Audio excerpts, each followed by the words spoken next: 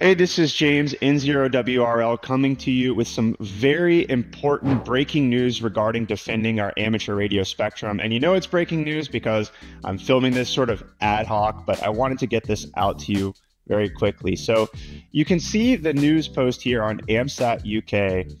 There is a commercial space company, AST and Science LLC, or AST Space Mobile that is using amateur radio spectrum for commercial use, and they're petitioning the FCC to allow them to do this. So they currently have five commercial satellites that are in operation and using the amateur radio 430 to 440 megahertz band or the 70 centimeter band.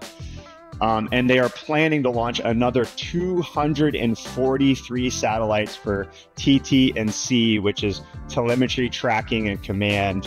Um, and they're petitioning the FCC to allow them to do so. So, right off the bat, this is a little strange. Uh, I'm not exactly sure how they're even able to operate these satellites already within that amateur radio spectrum without somehow getting fined or prevented from doing so. But they do seem to have done that. So I'll link you guys to this amsat.uk so you can read this. Maybe some of you guys can shed some more light on what exactly um, is going on here. If you click the link here, President Peter um, Gülzow of AMSAT DL DB2OS uh, has done some good analysis on this as well, as well. and uh, some of the other folks in this Libre Space thread have done some analysis and uh, gathered observations um, of the passes of those satellites so you can see and get an idea of exactly the interference that this would cause to uh, amateur radio operators. Personally, I've just been getting into satellite uh, operations, and so this is sort of scary to have potentially this much interference on that 430 to 440 megahertz band that we use for satellite operations.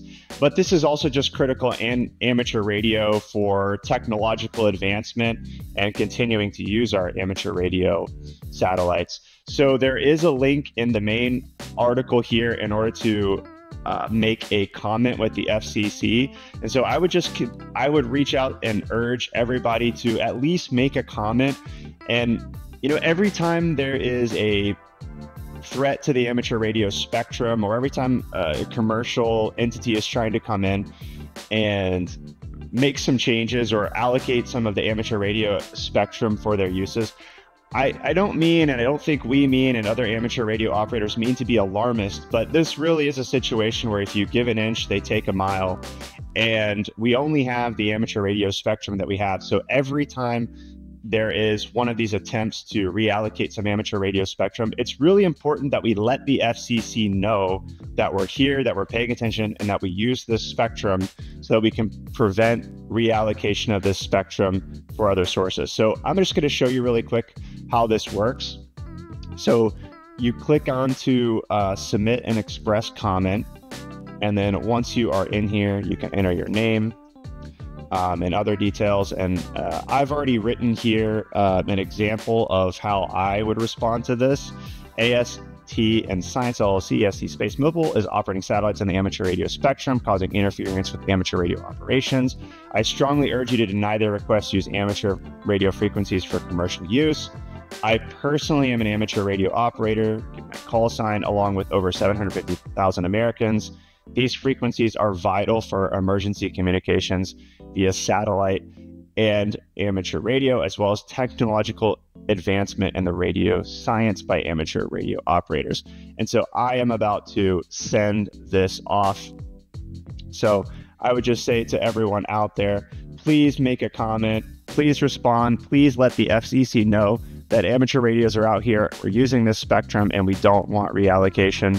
So this is James N0WRL saying 73. Thanks for your attention on this, and I hope to hear you on the air soon.